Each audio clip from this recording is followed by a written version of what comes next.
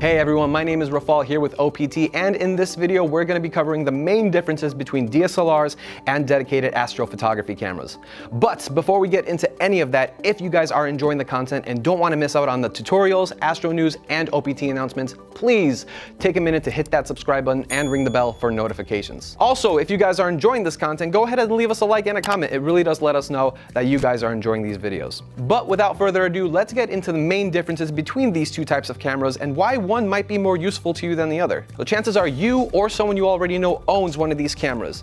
DSLRs are the camera that most astrophotographers start with because, well, they already own one. Most DSLRs are either full frame APS-C or micro four thirds sensors, which means they fit perfectly with most telescopes and lenses alike. They come with their own power source, which can last several hours on a full charge, but if you want to remove that worry of losing charge during your imaging, you can buy dummy batteries instead, which will give the camera non-stop power all night. DSLRs can store all the images you capture on their own memory cards, and you have the option of changing the camera settings either through the camera itself, through an app if your camera supports Bluetooth or Wi-Fi, or through a computer as long as you have the right driver installed for that camera and you can see all the settings you're changing through the LCD monitors that most DSLR cameras have. And of course, DSLRs are cameras for every aspect of photography as well. You can take incredible deep sky images first and then some awesome photos of star trails with the same camera. But what are some disadvantages from using them? First and foremost, noise.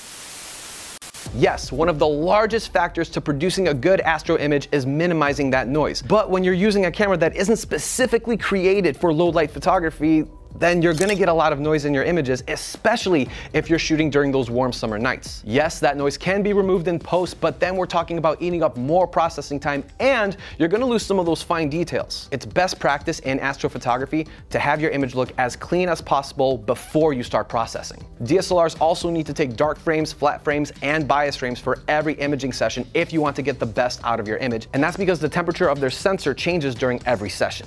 Now, one other thing to think about with DSLRs is that they are usually larger and heavier than Astro cameras.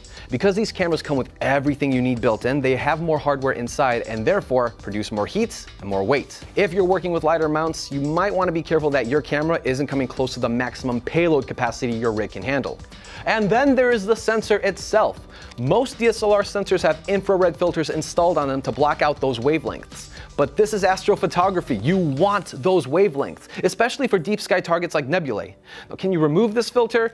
Yes, but those are modifications that can get pretty expensive and yeah, sure, there are some YouTube tutorials that show you how to do it yourself, but unless you know exactly what you're doing, you shouldn't open your camera. Also, once you take that filter off, it won't shoot the same in the daytime anymore and your colors will be slightly off. So unless you plan on using your camera just for astrophotography, we don't recommend it. Finally, if you want to use a light pollution filter or other filters with your DSLR, you don't have a lot of choices. Clip-in filters are usually the best option, but getting them to sit properly can be tricky and they only exist in a few brands. You could get a filter slider, but then you're adding more weight onto your image train. So now let's cover dedicated Astro cameras. And right off the bat, you can see how different these cameras look. There are no buttons, no screens, no slots, nothing. Just a sensor on the front and a couple of plugs on the back. And that's because Astro cameras are designed to be completely controlled from a computer.